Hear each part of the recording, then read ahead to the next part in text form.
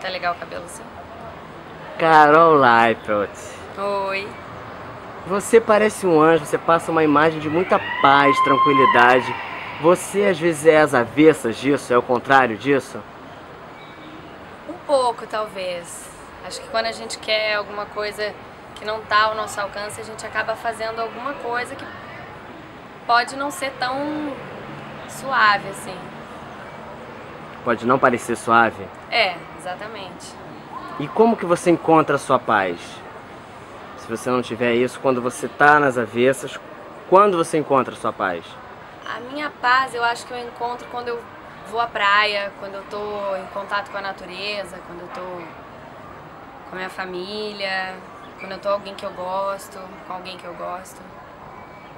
Acho que quando eu me sinto segura, aí eu acho que esse é o momento que eu me sinto em paz. Então é o momento, são alguns momentos, na verdade, que você tem só ela. Alguns Você não momentos. consegue ter sempre? Não, não sempre. Não sempre mesmo. Você acha que não existe uma paz direta? Não. Eu acho que a gente só entra. A gente só consegue entrar em contato com a paz quando a gente tá. Quando a gente procura ela no lugar certo. É, Eu me sinto uma pessoa meio sozinha às vezes. Eu só vou me sentir em paz quando eu estiver abraçada de conchinha. E. Depende do momento. Você é daqui do Rio? Não, sou gaúcha, sou de Santa Cruz do Sul, Rio Grande do Sul, mas moro no Rio há sete anos já. Mas você sente saudade de lá? Sinto de algumas coisas, de outras não. É, você acha que isso é uma falta que te faz nesse sentido de paz, por exemplo? Acho, Você acha que lá você teria mais paz, mais tranquilidade, mais liberdade? não. Não. Acho que a minha liberdade está aqui. É por isso que eu não saio muito daqui. Mas lá é a minha base, lá é onde eu tenho a minha estrutura, é onde eu encontro toda a minha família, os meus amigos de infância. A minha base mesmo, aquilo que eu acho que me faz bem. Você prefere então a paz do que a liberdade ou você prefere a liberdade do que a paz? Ou você acha que as duas coisas estão juntas? Eu acho Podem vir eu- juntas? Não, não podem vir juntas. Mas como aqui eu tenho liberdade, aqui eu também encontro a minha paz. Eu acho que paz está um pouco ligado à base pra mim. Onde está a minha base, eu tenho paz. Entendi. E lá no sul, você, no caso, você só tinha a paz, então. Você É, não tinha também a liberdade. Não tinha, não tinha. Você quer as duas. Exato. Tem um momento que você consegue ter as duas juntas? No momento que eu consigo. Acho que quando eu tô, quando eu tô na praia sozinha, olhando pro céu, quando passam as aves e os barulhos das ondas e em contato com a areia. Acho que é isso. Acho que é o meu momento de paz maior.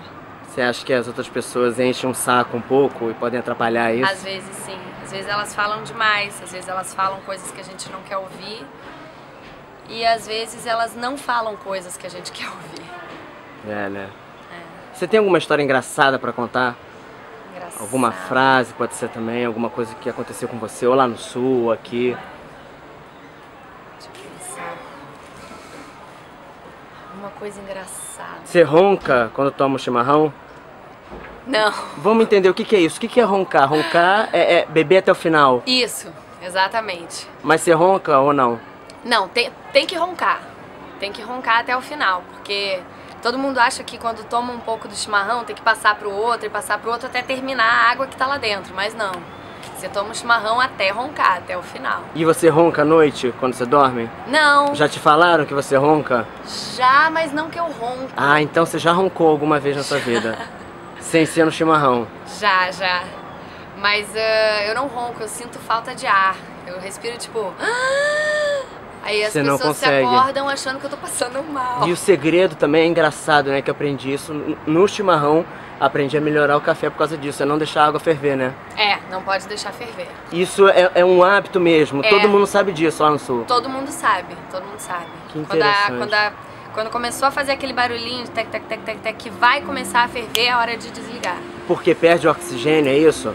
Também, mas é porque ao no momento que a água entra em contato com a erva, a intenção não é que ela queime. A intenção é que ela tire a coisa boa da, da erva amarga. Se queimar, não tem aquele gosto amargo, tem gosto de queimado. Olha, que engraçado isso. Mas lembrou da história?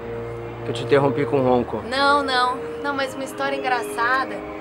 Eu não sei, eu acho que todas as coisas são engraçadas na vida quando a gente. é, quando a gente encontra alguém. Hoje aconteceu uma coisa engraçada. Posso, pode ser, seja isso. Eu fui ao mercado, fiz um monte de coisa quando eu voltei pra casa, eu tava no elevador. Entrou uma senhorinha junto comigo, que mora no andar abaixo do meu.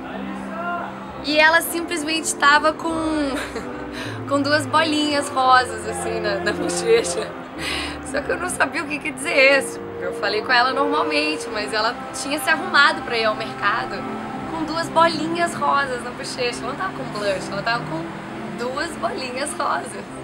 Foi engraçado. Foi engraçado. Mas você chamou a atenção dela? Você falou alguma Não, coisa? Tem. não. Você só reparou, quis fazer É. um comentário e não- achou melhor não fazer, né? É, achei melhor não, deixa pra lá. Talvez ela se arrumou pra, só pra sair de casa, sabe? Mas você acha que tem que avisar, por exemplo, quando alguém tá com brócolis no, no meio dos acho, dentes? Acho. Você avisa quando alguém Eu tem aviso, brócolis, eu cebola, Aviso. cenoura. Se a pessoa tá com bafo também, tá com CC. Feijão é eu terrível, falo. né? Porque fica o preto do feijão Péssimo. e aí parece que não tem o dente, na verdade, né? Exato. Você avisa então, você é, é amiga a esse Eu ponto. sou amiga. Mesmo que eu não seja amiga, eu vou falar. Mas não avisa das bolinhas vermelhas no rosto. Não. É que maquiagem é uma coisa diferente, né? Não é uma coisa que aconteceu e. Ups! Tá ali o feijão. É, tá ali o feijão, né? Foi uma coisa que a pessoa botou de propósito. Então com, com essa frase a gente termina esse papo, essa entrevista, Carol Leipelt. Então tá. Tá aí o feijão. Tá o feijão. Tá o feijão. Tá o Valeu. feijão. Beijo.